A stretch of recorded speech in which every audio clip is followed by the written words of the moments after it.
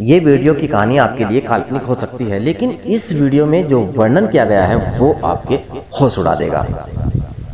एक बार एक अत्यंत गरीब महिला जो श्री कृष्ण की परम भक्त थी, वो बिल्कुल गरीब अवस्था में आ गई और उसके परिवार को खाने के लिए कई दिनों से भोजन नहीं मिला।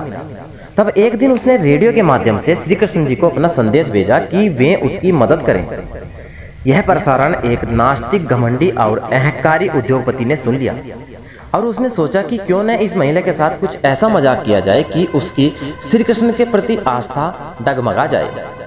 तब उसने अपने सेक्रेटरी को कहा कि वह ढेर सारा खाना और महीने भर का राशन उसके घर पर देकर आ जाए।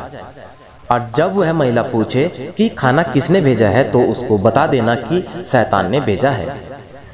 जैसे ही महिला के पास वो सामान पहुँचा, पहले तो उसने और उसके परिवार ने तृप्त होकर भोजन किया, तसल्ली बख्श सारा भोजन किया। और जब महिला ने उस आदमी को नहीं पूछा कि यह खाना किसने भेजा है, तब सेक्रेटरी से रहा नहीं गया। तब उसने महिला से पूछ ही लिया कि क्या आपको जिज्ञासा नहीं होती कि यह भोजन किसने भेजा है? उस महिला ने बहुत ही बेहतरीन जवाब दिया कि मैं इतना क्यों सोचूं और क्यों पूछूँ कि यह खाना किसने भेजा है? मुझे तो मेरे श्री कृष्ण जी पर पूरा भरोसा है। मेरे कृष्ण जी जब आदेश देते हैं तो सैतानों को भी उस आदेशों का पालन करना पड़ता है।